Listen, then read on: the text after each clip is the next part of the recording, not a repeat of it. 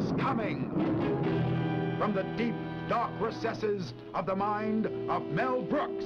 I love him. Young Frankenstein.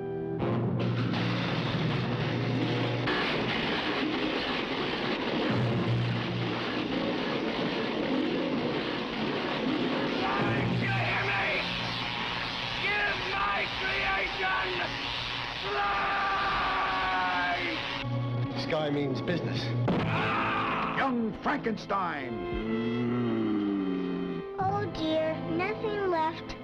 What shall we throw in now?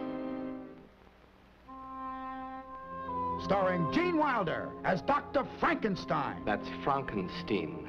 But what about your grandfather's work, sir? My grandfather's work was doo-doo! Peter Boyle as the monster. Wow! Marty Feldman as Igor. My grandfather used to work for your grandfather. I'm sure we'll get along splendidly.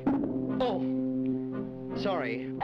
Cloris Leachman as Frau Blucher. You played that music in the middle of the night? Yes! To get us into the laboratory. Yes! And it was you who left my grandfather's book out for me to find. Yes! So that I would... Yes! Then you and Victor were... Say it.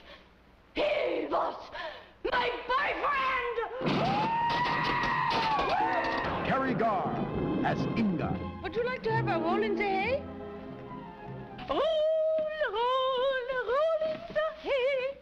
Kenneth Mars as the inspector.